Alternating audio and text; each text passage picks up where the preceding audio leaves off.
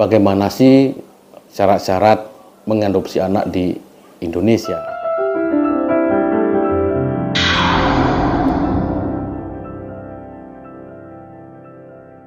Halo, kembali lagi bertemu dengan saya, Guru Sawit. Jadi di sini uh, saya akan mencoba menjelaskan terkait dengan pertanyaan dari uh, video saya terkait adopsi anak.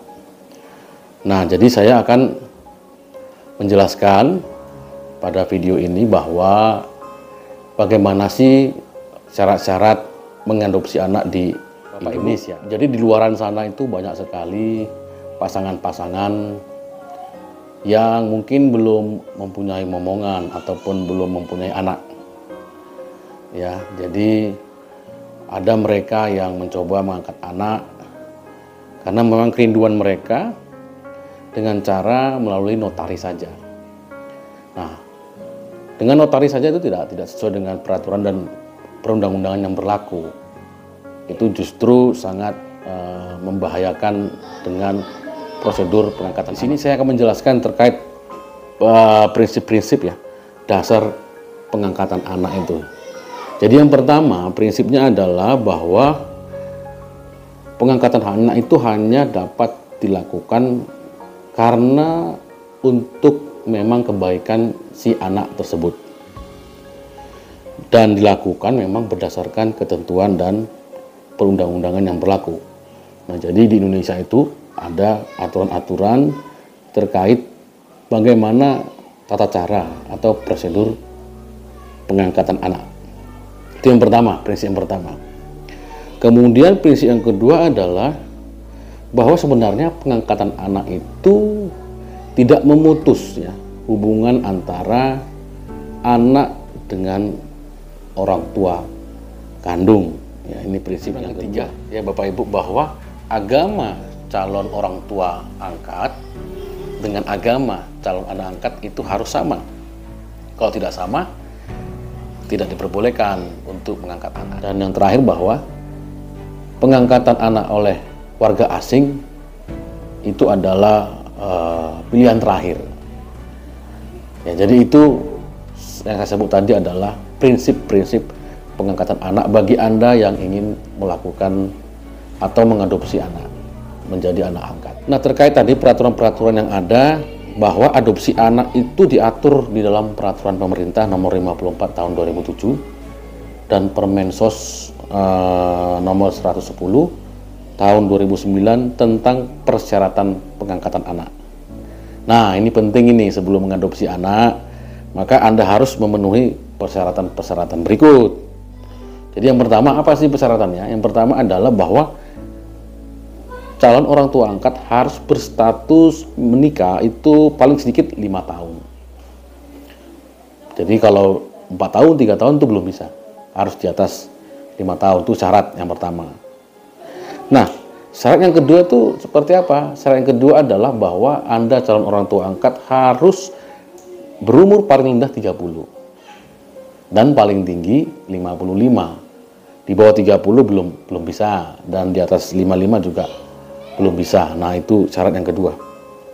Kemudian yang saya sebut tadi bahwa yang ketiga adalah calon orang tua angkat itu harus seagama dengan calon anak angkat. Yang keempat adalah bahwa calon orang tua ini harus memang mampu secara ekonomi maupun secara sosial. Dan selanjutnya adalah memang bahwa orang tua angkat ini ya, Anda-anda yang ingin mengangkat ini memang belum punya anak atau hanya mempunyai satu anak. Nah, ini diperbolehkan memenuhi syarat untuk mengadopsi anak angkat. Nah, kemudian berikutnya adalah jika ada salah satu ya antara istri atau suami yang memang berdasarkan analisa dokter itu memang tidak bisa uh, memiliki keturunan. Nah ini memenuhi syarat untuk mengadopsi anak. Dan terakhir adalah memang ini prosedurnya mengajukan permohonan izin ada belangko untuk mengisi anak kepada mana kepada dinas Eh, kepala dinas sosial. dengan materai cukup dan dilampiri nanti ada beberapa surat.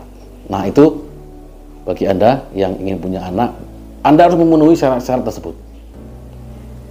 Ya, nah, mudah-mudahan syarat-syarat tadi itu bisa Anda penuhi dan impian Anda untuk mendapatkan anak angkat itu terwujud. Bapak Ibu, ini terakhir, bagian terakhir, apa saja sih prosedur bagi Anda yang ingin mengadopsi anak? Nah ini penting ini. Jadi yang pertama adalah pemohon itu mengajukan uh, permohonan ke dinas sosial setempat. Ya, jadi yang seperti saya sebut tadi, dinas sosial ada belangko, ada permohonan yang harus dibuat. Kemudian setelah itu yang kedua nanti petugas dinas sosial akan datang ke rumah Bapak Ibu untuk ngapain? Untuk melakukan kunjungan, memeriksa memeriksa kondisi ekonomi Bapak Ibu dan kondisi sosial Bapak Ibu. Mereka melakukan verifikasi apakah memenuhi syarat atau tidak.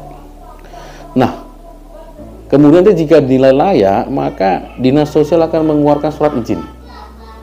Ya, tentang apa? Surat izin itu adalah surat izin pengasuhan sementara dan dilakukan pengawasan ya, pengawasan serta bimbingan selama waktu pengasuhan tersebut.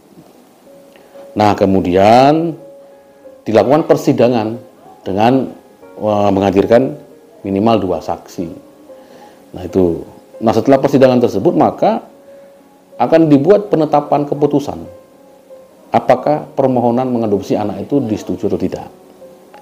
Nah, setelah itu, setelah disetujui, maka orang tua angkat perlu melaporkan dan menyampaikan salinan penetapannya dari pengadilan tersebut ke mana? Kepada Kementerian Sosial dan Dinas Kependudukan dan kepada catatan sipil kabupaten atau kota. Nah, itu tadi prosedur uh, mengadopsi anak dan mudah-mudahan apa yang saya sampaikan ini bisa bermanfaat untuk Bapak Ibu dan impian Bapak Ibu untuk mendapatkan anak terwujud. Jika ingin tanyakan silakan komen di bawah dan terus berjuang dan berdoa terus semoga semua yang Anda inginkan terkabul. Dadah, bye-bye.